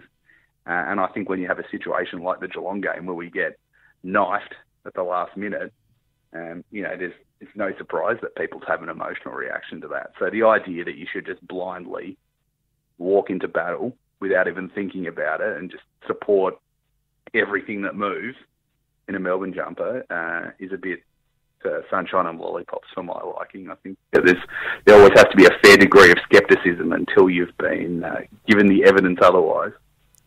Um, we've got a caller. Uh, don't make me angry. How are you? Good. How are you guys going? Oh, going really well, mate. Um, you know, especially after a win, uh, much better than I was last week after the loss when uh, I was ready to get the knives out. Oh, mate, you know, if we'd beaten Geelong last week, the week before, Geelong was not going to make the finals. We would have knocked them out of the top eight permanently. Oh, oh mate, I'm well aware of that. Uh, uh, I don't know if you didn't listen a couple of weeks ago. I've got a bet going on with my nephews. Uh, they're massive Geelong fans, and um, the bet is who finishes higher at the end of the home and away season. And despite the fact that we're currently on top of them now, um, I don't know. I, I I'm more confident now that we'll make the finals, but I'm not confident that we're going to finish higher than Geelong at the moment. Um, so yeah, that really disappoints me because had we beaten them, um, I would have been home and hosed, I reckon, with that bet. They've certainly got a, a, slightly easier run home than we have. They've got Fremantle and Gold Coast yeah. at home. So they've got two wins. I've got no doubt about that. They've got two wins that they can talk, chalk up now. Possibly by outrageous margins. Yes. Especially the Gold Coast one and and last round. And Fremantle. They're, they're, chasing percentage. Yeah. yeah. if they're chasing percentage in the last two rounds, yeah, uh, we we would hopefully. I suspect we wouldn't be the ones playing against them. Um, it's probably likely to be more North Melbourne and Sydney, North Melbourne or Sydney, going against them. Um, but yeah, you wouldn't want to. You wouldn't want to have to rely on Freo or Gold Coast putting in yeah, at Kardinia Park in the last two rounds. Oh, definitely not. Uh, who else do they have? They've got Hawthorn and Richmond. So I, I, yeah. I actually think so they hopefully they lose the next. Well, hopefully they lose this week. Then Hawthorn, I guess that's one where we're going to have to decide after this week what the uh, lesser of two evils would be there. I actually think Geelong might knock off Richmond uh, funny, funny, funnily. Now enough. that they've now that Richmond's pinched our record yes. for the most wins in a row at the G, they'll just they'll just ch- chuck one now. That'd be right. Yeah, uh, don't make me angry. Sorry, we've uh, we've ignored you. Uh, what did you call up to say? Just about. Oh, no, but if Geneva would have beaten Geelong. They would still be saying, "Oh, but Melbourne hasn't beat any any side in the top eight yet." Well, you know, they keep on they keep on saying that, but when we actually beat Adelaide by 91 points, they're actually fourth on the ladder. But so, somehow they always manipulate it to make it. I know you're not it, it, whatever position they are at the time that they want to say it, and accept the time when you actually say them. You know that. And um, if Collingwood beat Sydney, and then we beat Sydney, you know they're going to say again, "Oh, they still haven't beaten a top eight side, though." Yeah, they'll, they'll say that the Sydney won't be top eight by then, will they? That that's true. I, I can see both sides of the coin uh, with that statement. Um, I see what you're saying. It, it does make sense, but uh, I mean, what do you think if if we um, if we miss out on the finals, just say we win the one this week and then lose the next three and don't make the finals? Uh, what do you think? If we haven't beaten a top eight team, do we really deserve to be there? Well, if we miss out on top eight, that means that um, North Melbourne or Essendon would, make the eight, uh, and then we've beaten oh, both. Oh yeah, that's true. So you know, but if they both, if we make the eight and they both make the eight, then they're going to say, "Oh, hang on, they did beat sides in the oh, eight." You know what go. I mean? It's, it's convenient to say when it is when you've played them. Oh, you haven't beaten anybody in top eight, but uh, you know, um, but if we don't make the finals, I tell you what, um, it, it, you know, we might never make it. I don't, I don't know. That sounds drastic, but it could be just a psyche that can never be broken. And then it doesn't take much for good players to all of a sudden go backwards. Mm. Uh, I, you know, Oliver can't. It definitely can't go backwards. But then, you, then again, if you don't make a couple of finals, and then you, and then players, then all of a sudden Petracca becomes, uh, you know, it, it becomes a Colin Sylvia and things like that. You know. Um, so when you're talking psyche, are you talking the psyche of the players? Is it the fact that they have had two years where they've missed out on the finals by tiniest of margins, uh, or are you talking about the psyche of the club in general over the last 15 years? Because, you know, when we spoke to um, Paul Roos, you know, he sort of made the point of guys like Christian Petracca and, you know, Clarry, they don't know about the last 10 years. Um, you know, so it does yeah, that doesn't affect them. But I guess two years in a row of having just missed the finals uh, could um, you know, could play on their minds.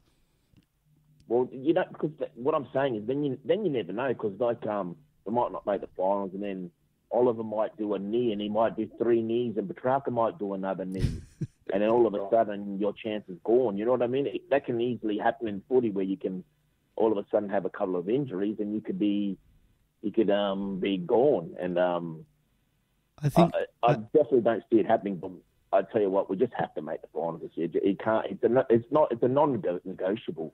And I think um, hopefully Kennedy is going to be out for, until the finals. And if Kennedy doesn't play, then West Coast are just um, easy beat. They can't. They can't win without Kennedy. We'll beat them without Kennedy. That's. I reckon that's almost a given that we'll beat them without Kennedy because their whole game plan is just kick it long to Kennedy. I was at the game, uh, Collingwood West Coast game, and that's pretty much when they started getting on top is when they just started kicking long to Kennedy.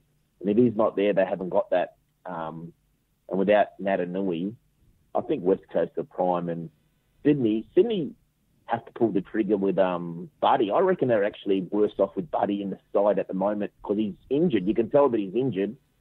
And in a way, I hope they keep him in the side because I reckon they'll be more beatable with Buddy. As hard as it's to believe, but when a man like him is injured, he's been proven not to play well with injury. You know, like in the grand final, they lost the Bulldogs. They lost that game because he hurt his ankle in the first quarter, and they lost that game because they can't. Buddy doesn't play well injured. Does guy agree with that, or? Super Mercado, you certainly probably see a lot more footy than I do. Um, oh, I look. I can't say that I uh, take as much, uh, take enough interest in the Swans uh, to, to, say whether that's right one way or the other. So I'll take your word for it. Uh, but I can certainly see you know, a benefit to him just being pushed up the ground, uh, well away from where he can do any damage, um, and hopefully, you know, not having any other, uh, you know, not having any other options down there that we might be able to to keep their score down, even if we haven't got Hibberd back. Um, I thought the back line did a really good job last week. They were underrated job in those first three quarters. Probably the, the first one, first half of the first quarter, not so great. But you know, Walker got one goal from a free, and Lynch didn't get any, and Jenkins didn't get any. Um, so I think they they did a really good underrated job. But I'm still concerned at that back line without obviously Lever, but without Hibberd as well. So yeah, the the more we can keep the big guns like uh, Kennedy and, and Franklin at bay, the better. Uh, but I, but I'm very much assuming Jack Darling will uh, take us to the cleaners just to rub it in yet again that we didn't uh, draft him over Lucas Cook. several years ago. Anything else? Uh, uh, don't don't make me angry. Oh, just talking about Lucas Cook. He's a strange character with the uh, Lucas Cookies last year. I remember earlier in the year, in that year that he got delisted, um, early in the year in the VFL, he was kicking bags of four, five. You know, he was kicking regularly bags of goals. He was kicking four and five and six for about four, or five weeks in a row. And then all of a sudden, halfway through that year, he just something must have happened, and he stopped. Um, and then he all of a sudden wasn't kicking any goals in the VFL.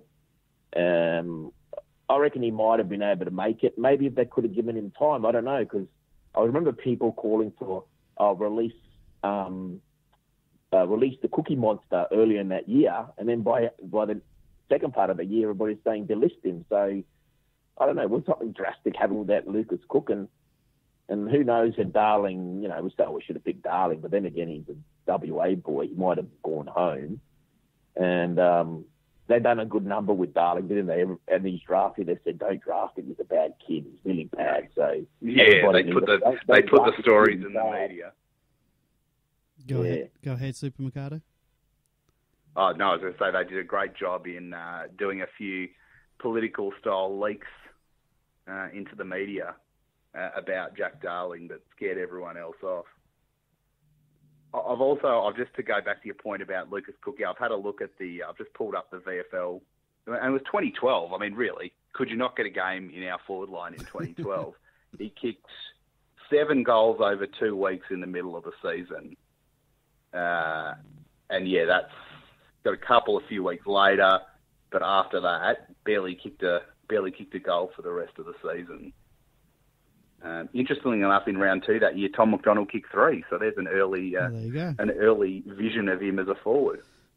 Uh, I was watching the uh, all the goals uh, highlights package that uh, the D's put on um, uh, their YouTube channel, and um, he's kicking for goal on the run, in particular.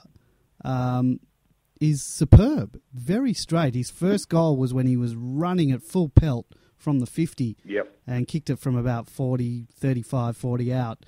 Um, that went straight as an arrow. And for a guy that, uh, you know, kicking out of the back line at times, you know, sometimes couldn't hit the side of a barn, he's kicking for goal. Um, and I know it's a different sort of style when you're on the run to when you're, you know, his set shots are very sort of like robotic and quite straight but it's a whole other story when you're on the run. So uh, I was quite impressed with uh, a couple of his on the run goals he's kicked this year. That goal as well, um, and it was a very good kick by Neil Bullen from the boundary line. But I was very impressed at the way Garlett protected that mark in the middle of the ground. How he sort of turned his body to to make sure he could take the mark, and then just played on straight to McDonald. I thought that was a, a beautifully constructed goal between those three players. Uh, speaking of uh, uh, Jeffrey Garlett and our small brigade, uh, how do you think uh, they went? I was I was happy that um, finally Jay Kennedy Harris was able to get that goal because that's what he's in there for to get those snaps, and he missed a, missed one the week before, so I was happy with that. Um, you know, um, Jeffrey Garlett um, got he got on the scoreboard but I think we need a bit more um, a bit more scoreboard pressure from those guys. Uh, Jeffy kicked uh, one goal too, and there was uh, one of the goals he missed wasn't an easy one, but he's kicked a lot of those before. Sort of that sort of dribble kick from the from the boundary. It's a it's a tough one, but he's done it before, and that's what we really need him to do. But um, yeah, I don't know. You guys, what did you think of this? The mosquito fleet, uh, Harris, Garlett, uh, Spargo.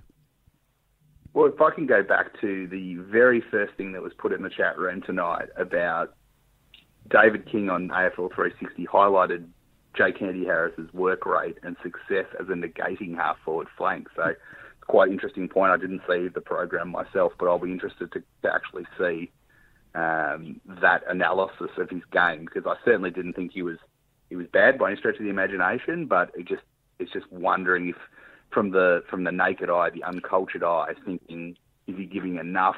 What does he mean by negate? Neg- going to the finals.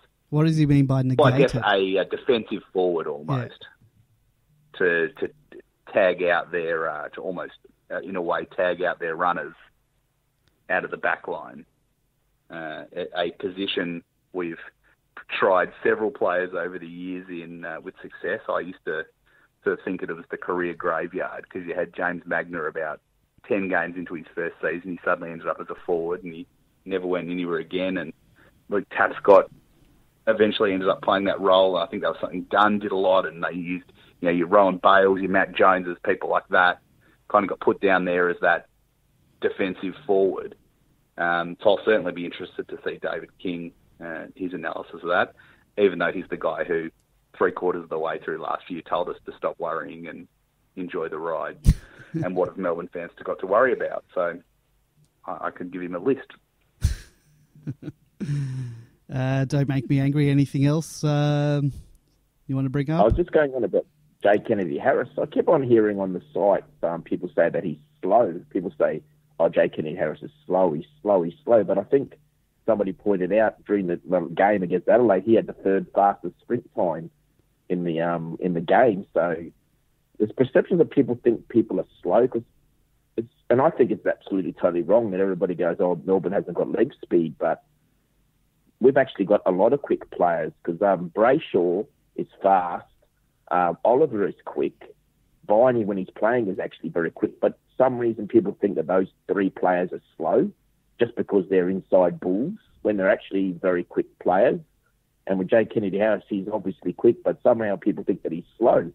But um, no, and uh, you know, what do you think? Uh, people always say we've got slow leg speed, but I think you know leg speed is overrated. But also with leg speed, it's more about mind speed is more important than leg speed. Because remember a bloke called Bell who used to play for us? He was the quickest in the team, but did you ever see him play quick? He was slow in the mind, but he was quick in the feet. But if you're slow in the mind, you can't be quick in your feet. Do you know what I mean? Yeah, I think. Speed. Yeah, I think I know what you mean. Uh, but uh, I'll put my hand up and say that I thought that Jay Kennedy Harris uh, looked slow. I think it was the game that uh, the last game that I went to uh, before the two away games we've had, uh, just in terms of either chasing someone or being chased down. I, I just assumed he was quicker than he was. Um, but I don't know. I guess if you say that his um, sprint numbers are, were were quite high up, um, then yeah, well, I'll have to I'll have to uh, keep a closer eye on him the uh, the next game. Yeah, yeah, that's the thing about leg speed. Oh, that's what I said. It's if you don't quick, if you don't think quick, you can't play quick. You can run quick, you can't think quick. But um, another bloke that's really quick, but uh, what's his name? Frost. Uh, the bloke just can't hit a target by foot. Every time he kicks it, he, either a, becomes a neutral situation or it's uh, turned over. And um, I know Joe Boy, when he does his three word analysis, he's always pumping up um, Frost and he's always putting Omac down. He's like, Omac's played been uh, loose and unconvincing when he's played really well. And he goes, um, Frost has been strong, bold, uh, and confident when he's been strong but not very confident whenever he kicks. You know what I mean? But um, I think he just shouldn't. Uh, uh, Frost, he should run, and once he runs, just handball, never kick. He should never kick. He should just ha- take off like he does, but then handball it off to somebody. I think he'd be better off if he doesn't um, just doesn't kick, just just handball it away because I think that's a lot more safer option for him, just to handball it because he's closing down speed. And um, we talk about that game against St Kilda. We lost that game because they dropped Bernie Spence for being too slow in the back line. But against the St Kilda game, they didn't bring anybody quick into the side to actually replace Spence, and that's why we lost. And Frost, no doubt, if he played in that game, he would have, he probably would have saved two or three goals from that St Kilda got because our back line had no speed in it. You know, we, last year we had the fastest back line, and this year we're playing the slowest back line with Hunt and Frost out of the side. Hmm. Yep. Yeah, I think Frost. You, ha- you have to wear some of the yeah the wacky disposals, um, just because of the the fact that he's really the, the only defender we've got who's going to closing has closing speed to uh, to you know take the intercept marks and and you know run onto people when there's a bit of space between them. Um, but yeah, you're right. Like I think I said in the blog this week, he's like a he's like a circus animal let loose. He just he just runs and just just you never know what's going to happen after that. Uh, and then, of course, when he sort of tried to tried to run through their defence at the end of the game and got pinged for holding the ball, I was letting uh, letting rip with a few choice words about his defence then. But uh, look, I think overall, for where our defence is at without Lever, and especially without Hibberd as well, without both of them, um, I'm prepared to wear the odd loose kick from Frost um, to make up to, to, for whatever else we get from him. Happy with that? Uh, don't make me angry. Yeah, I'm happy with that. Um, but uh, you know, with the Tom McDonald's kicking, they're saying he's very good kick for goal. I don't. I think he his kicking has always been good, even in the back line. But it's not about his kicking; it's about his decision making. Decision making, yeah. He turns over the ball a bit in the back line, not because he can't kick, but because he actually he's actually a risk taker, and he takes risks that um, are you know that he shouldn't be taking. That's what he he might rate himself a bit high, and he takes those risks and that's more why he turns it over because he's a very high risk taker. And when he did play in the back line, they were, they were very high rewarded, but then again, they were very um, high um, punishments as well. When he did, when they didn't come off, they normally were a turnover goal, but when they did come off, they were spectacular sort of plays. But um, but he's, but I'm glad now he's in the forward line and uh, he's really worked in his kicking for goal because earlier in his career he couldn't really kick for goal either. But now he's fixed that up. Um, I think I think if he has a full season next year, he might he might be the next person to kick 100 goals. I think Tom McDonald. I think he is the is the one capable. They changed the rules a bit. I think he's the capable, the next capable man of scoring, uh, kicking 100 goals. So what's he kicked this year? He's kicked 40 in 13 games. I think he's played. Um, yeah. Yeah, give him an, give him another ten. Uh, I don't know if he'd kick if he'd kick hundred, but and I don't know if many players would uh, anymore would kick hundred goals, but um, he'll get. Uh, what do we think about Oscar's shot on goal in the last quarter? Do you think there's any hope for him to uh, do the surprise conversion that uh, Tom's done? Well, didn't you say that he pl- was it you that said he played as a forward in his uh, junior junior years? I know Tom did.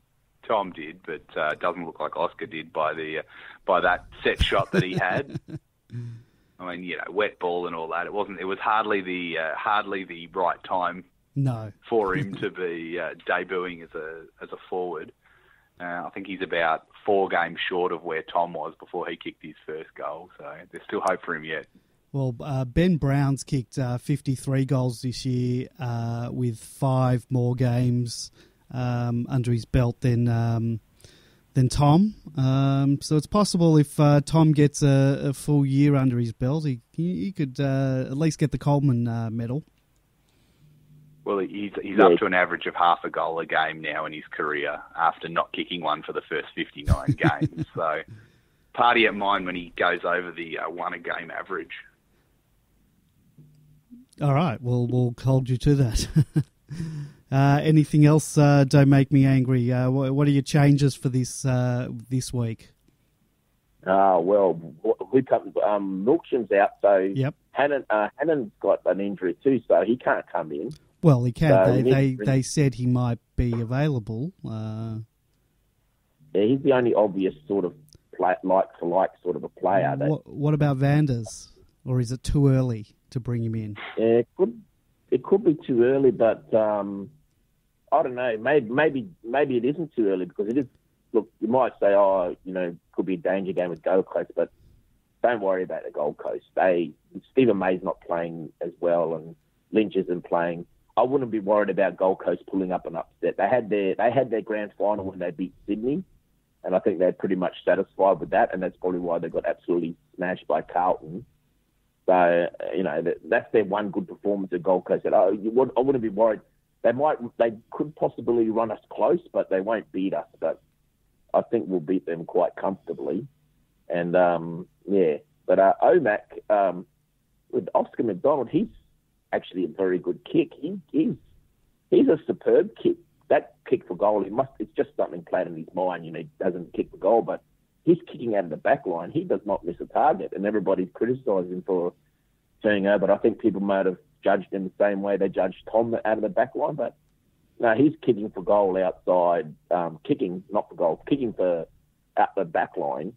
Omac just, I don't think he turns it over very often at all. He doesn't take the risks that Tom takes, but he does hit his targets. He's a lot. I'd rather him kicking the ball than Frost, but uh, but um, yeah, so yeah, I think Hannan might come in for uh, Melksham or or maybe Vandenberg. We could bring him in, I guess, uh, being against the Gold Coast. Um, need that bull.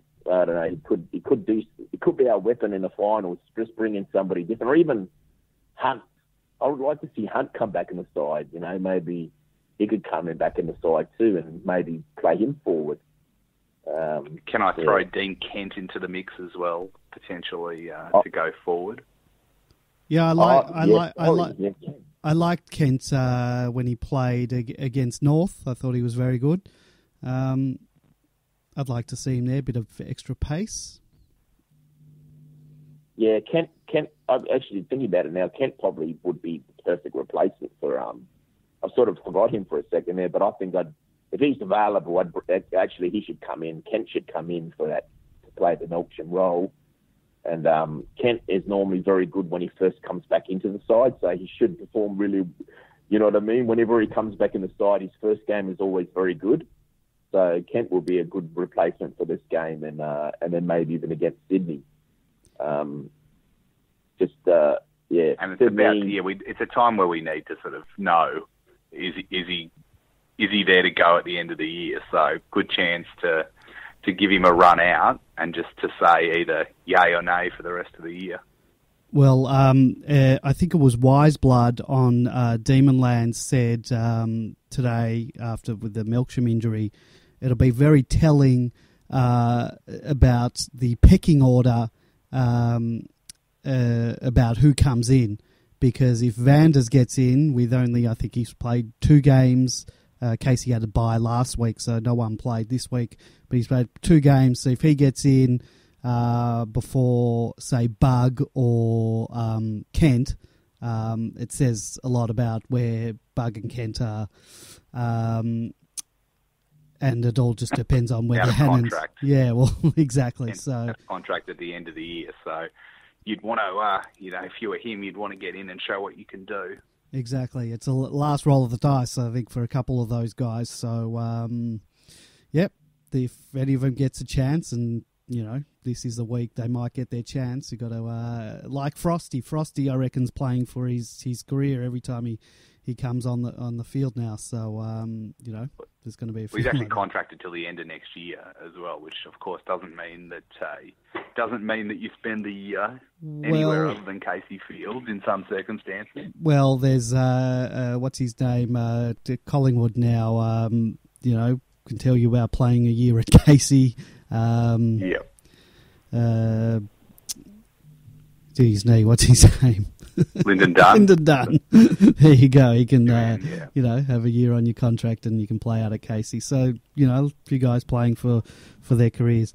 Um, uh, so yeah, that, I guess you know. Milk, any other changes you think this week? I don't, unless there's other forced forced changes. Uh, you think anyone might get uh, the chop this week? No, I don't think they're going to get the chop. Not after a win like that. And yeah. The last two weeks have been very good, um, except for just two We've only had two bad quarters that have almost cost us two games. Uh, no one really deserves to get dropped at all. Everybody's played pretty much. Everybody's pretty much played their role and played fairly well. Uh, we've got to reward that. So no other changes, just just that forced change, and that that will that, guys. That will be it. That definitely that that's all that will um, change. I don't think anybody's play, anybody put a had a stinker in the last two weeks to deserve to be dropped um, yeah. So no, no more, no, just one one change and one change only. That's definitely um, possibility. All right. Yeah. All right. And, so um, you go ahead. Yeah, no, well, uh, that's that should be the end of me tonight. So um, okay. we'll just say um, go uh, go D's. Uh, yes. Yes. All right. Well, thank you for joining us. Uh, don't make me angry. Always good to hear from fellow Demonlanders. So uh, thank you very much. Um, uh, Super Mercado, we'll, we'll end it soon, but we've got a few things I want to just quickly touch on. Uh, the round 23 fixture was announced. Uh, we're playing on the Sunday. No surprises there. 3:20 p.m. It's our we've we've we've cornered the market on 320 on a Sunday, particularly later in the year. I think we play uh, th- three of our last four games at that time.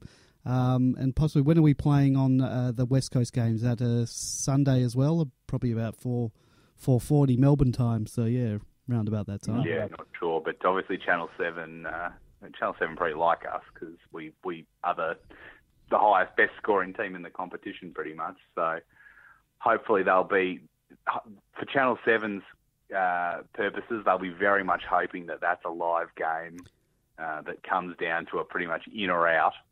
Uh, because if that game's off the agenda and doesn't mean anything, then their ratings will will probably get exactly what you would expect for a uh, Melbourne GWS game that's a dead rubber. Well, I am praying that we've sewn it up by then because I can't go through what we did last year. Particularly, just say uh, we and even worse if we happen to lose. I would prefer if we lost to GWS, it just meant we can't make it and not have to rely on that last game because which is which is going to be see, half halfway through by the time our game finishes. Yes, so I guess that's probably better than what happened last week, where we had to wait the day and whatever, so there'll be less uh, less time of misery. Um, but we've got after us is St Kilda, North Melbourne. Now, I if we somehow, for whatever happens, where where if we have to rely on St Kilda either winning or not giving up, giving North Melbourne some percentage, well, shoot me now because yeah, yeah, that will be a, a hot afternoon in the MCG with people crowded around televisions. Do you, uh, do you reckon they'll play it on the score? The they have to play it on the scoreboard, don't they? Can they? Oh, football this year is so tone deaf to what the supporters want. They'll probably roll the security guards through 20 minutes later and say, "Everyone, get out!" they don't want and force seats. us all out of the ground. they don't want to sta- uh, the Olympic stand burnt down. yeah, correct. Yeah, if they're doing it because they've got a, a, leak that there might be some uh, extraordinary scenes of violence afterwards, that's one thing. Um, but yes, I would have thought that uh, it would be the sensible thing to do if required to, uh, if they can, I'm sure they can turn it on the big screen and pray that the G is still standing the next day because. But let's hope it doesn't come to that. No, let's hope it doesn't come to that. But the, St Kilda's not win a chance two. to. They're not a chance to win that game. I'll, I'll bet it now. Anyone wants to take a bet with me? I'm not a betting man, but I'll I'll put any money that North Melbourne win that game. But if it also comes down to North Melbourne needing X amount of percentage that's yep. going to happen as well. you can bet. Yeah, absolutely. You can bet your bottom dollar. It'll probably be Ben Brown kicking a goal on the siren as well that puts them over their 0.05 percent that they need. Um, yeah, that'll kill me. Uh, I. I'll, I'll, if anyone wants to buy purchase uh, de- the demonland.com after that I'm willing to take uh, take your best offer um, uh, do, do, we even need to talk about the run home and the ladder predictions and all that? Uh, I guess it comes down yeah. to, I mean, with scenario wise, two games does it, or is there still? If if we beat Sydney, yeah, if we beat, I'm talking Sydney, so win the next two. Is there any way we can miss it from there?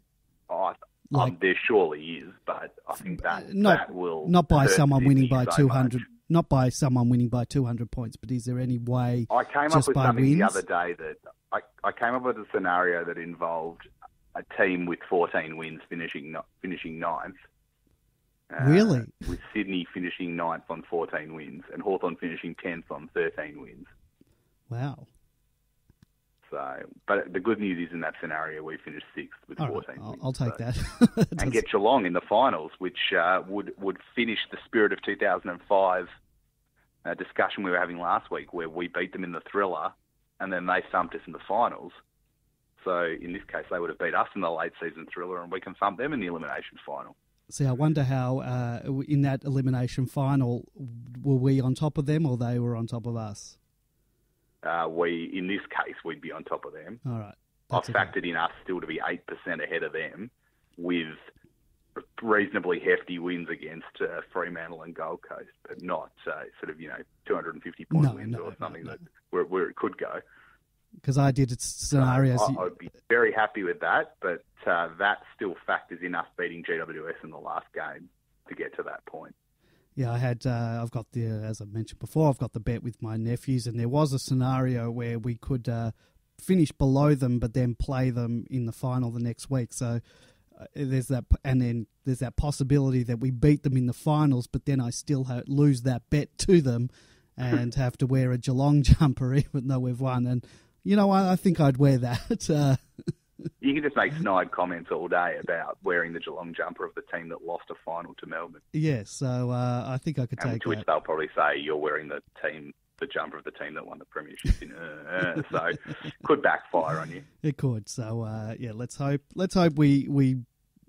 I want to win the next two games. We'll take yes. one week at a time. I that, yeah, I I definitely think that um, yeah, if we beat Sydney, um, and of course if Collingwood beat Sydney as well, which you would think they would do, um, that that helps the equation even more. That gives even more of a break. So you, you switch, you put Collingwood beating Sydney, and then Sydney's down to 13 wins. Um, but it just makes our game against them so crucial. Like if the Geelong one was an eight pointer, this is about a 16 pointer, um, because it doesn't automatically kill off either team losing that game. Um, the Swans have got GWS, who, again, that could go either way. Uh, and then they've got Hawthorn in the last round, which could go either way. So yeah. I'm sort of starting to feel like a dickhead for punting them home against North uh, a couple of weeks ago because I thought beating North was the what would help us the most. Um, now North sort of got this easy run for the last few games. Uh, they might not be our, our biggest concern. Yeah, it's uh, these ladder predictors. Uh, I'd love to know the AFL stats on how many times it's been uh, it's been used. Um, well, if they'd put it up before about round 15, that was the most ridiculous decision of all time. Talk about tone deaf organisations that don't understand what the people want. Give us the ladder predictor from round one. Was that's, there why a... that's why I've got an Excel spreadsheet with uh, that some genius slash lunatic off the internet created, where you just punch the scores in and it uh, generates the ladder for you. Why I had to go at about round seven to start tracking my uh, the Bradbury plan for the rest of the year. Well, this this ladder predictor, I think it's up from last. Uh, it must save um, it must save it in your uh, browser cookies or something. So I've got staring me in the face the the ladder where we finished ninth on thirteen wins. oh couldn't cope. We've we've already we are we are alongside Richmond as the only or we would be alongside Richmond as the only team to finish ninth twice since the final eight came in. Uh, but at least they had the good sense to do it about five years apart. So, um, for all the for, for all the, the cliches that they get, uh, we will actually have more of a right to the ninth cliche than they will if we finish there again. So that that is all predicated. That that uh, that ninth um, seems to be predicated on um, Geelong beating Hawthorn. But if Hawthorn beat Geelong, exactly. we we get in. Um, that I've also factored in, you know, North making it on the 14 wins. Um. Uh, but um, yeah, North, yeah, so, North has got a like Brisbane this week is probably the best chance of anyone knocking off North because they've got the Bulldogs who have shut up shop. They've got Adelaide, I suppose. Yeah, that's probably a, they're potential as well. Yeah, but, but they shut up by shop. then, they've shut up shop. Um, but you never know. You know, Kyle Cheney might have 142 intercept marks or something, and Tex Walker has something to prove, etc., etc. So, yeah. if they don't lose either of those two, they're not going to lose to Bulldogs. They're not going to lose to St Kilda. So, you know, there's the potential for them going in on four straight wins to end the season. Um, I do still think there's, you know, it's likely going to come down to the GWS game. Um, but it's do other people topple over in front of us and make that game irrelevant? That's the question. Yeah, look, I th- I think it's, uh, and I'm saying if we win the next, if we win the next two, and that's all we win, um, that Geelong Hawthorn game, I think, is the is the game. We need Hawthorn yeah. to knock Geelong yep. off. Well, I mean, at the moment, we probably want Hawthorn to win, but, but you never know. That's going to be such a 50-50. Yeah. Um, a hard one to, to pick. Like last week, we knew that we wanted West Coast to beat North, and that was a crucial game. Mm. Uh, and West Coast are still, we're still waiting for West Coast to show up in Hobart. Yeah. And have some semblance of a crack. Um, and that's what gives North that hope that now they, they run these last four games that are winnable and they can still fall in. That would have stuffed them if they'd lost that. Um, with no negative benefit to us, unless you uh, unless you think we're going to win all four of the remaining games, which will uh, certainly put us into the top two or three, which would be nice. But I'll just be conservative now and just uh, just just work on the eight to start with, and anything else will be a bonus. Well, I've I've also just I've done a scenario now where Port miss out on 14 wins, wouldn't that? wouldn't that? We also get 14 wins in this scenario. Um, that would be nice. It's just the, it's going to be the most bonkers run in. Like I, know there's been a lot of you know your, your 1987s and, and stuff like that, but in the modern 2000 top eight um, world, it's going to be one of the craziest run-ins of all time, and it's just a shame that that's not being celebrated. We're too busy talking about playing with like a Frankenstein goal square in a VFL game um, that I notice has been uh, mysteriously promoted to be the Channel 7 game, despite the fact that the teams have got one win and one draw between them. Like, that's what we're focusing on so much at the moment, when people should be focusing on this amazing finish to the season. So I, I haven't been paying too much attention to the, the rules change. What what is the whole deal with the bigger goal goal square uh, goal square? What's it's, it's longer, so theoretically, for what you reason? should be able to kick it further down the ground from a kick out. From the kick out, like and 10 that's it. I think ten meters longer. But how does what does that do?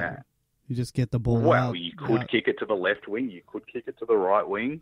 It's I don't understand why you wouldn't just sit everyone back and stack the middle of the ground. But I guess then you you run the risk of the the dinky short kick you do into the pocket now becomes the dinky short kick to the thirty meter mark.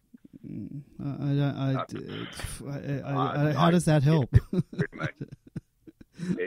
yeah. Well, tune in to Channel Seven at uh, on Saturday afternoon, and you'll see the two worst teams in the VFL playing a, a, trial game, which will probably be held up as all the evidence you need that they're the best rule changes of all time, um, based on a sample size of one with two absolute shocking teams.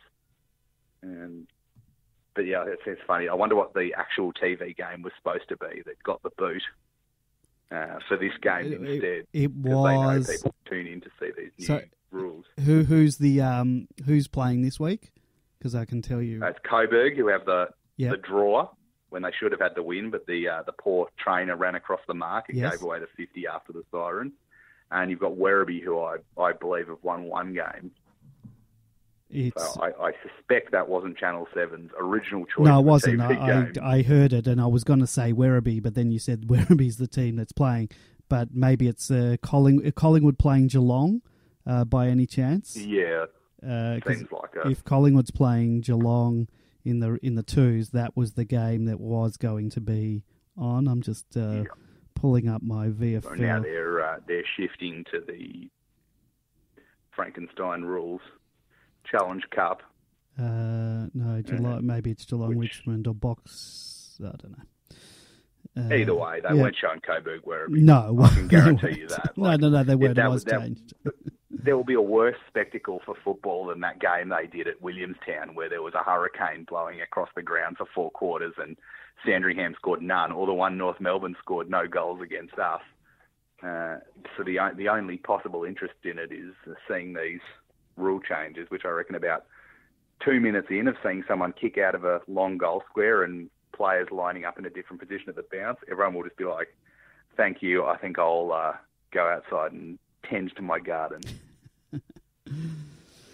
well, um, yeah, it's going to be an interesting uh, end to the season, and um, yeah, hopefully we're going to feature uh, well into September. But uh, let's, as we say, let's take one week at a time.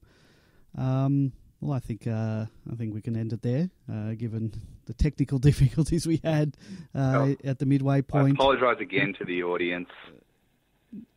no, that's I'm that's right. Anyone li- outside and hit my microphone with a garden implement. Anyone who is uh, going to be listening to this on replay is not going to hear any of that because I'm going to. It's going to be erased from history. So uh, anyone listening live now, we apologise uh, to all 110 of you who are listening live at the moment. So thank you very much. Um, we'll be back uh, next week. Uh, oh, God help us if if we're coming back of a loss because I don't know if I, I can do the show. I volunteer to do the head in the oven monologue at the start if we don't win. Well, there you go. I, I will uh, record you uh, uh, doing that. Um, yeah, Grapevine won't be back next week uh, uh, due to work commitments. Uh, so yeah, it's us flying solo again. um, I'll well before well I'll play the music, but uh, you want to plug your your stuff? Yes, you can always go to uh, demonblog.com uh, or demonwiki.org for your historical uh, needs, or check us out on Twitter at demonblog or on Facebook at demonblog. Okay, and uh, you can find us on Facebook, facebook.com slash demonland31. Find us on Twitter at demonland. Um, Instagram, Demonland31, or you can find us at demonland.com. Join up and uh, join the discussion uh, each and every day at, uh, at Demonland. Um, and uh, if you want to email us, we now have an email address. Um, that's podcast at demonland.com. If you want to download us on iTunes, if you're listening to this on SoundCloud, de- subscribe and de- uh, on uh, iTunes and leave us a five star review, and maybe I'll read a couple of them out. All right, my name's Andy. That's Super Mercado's been my uh, host, co host. We'll see you next week. Go Demons.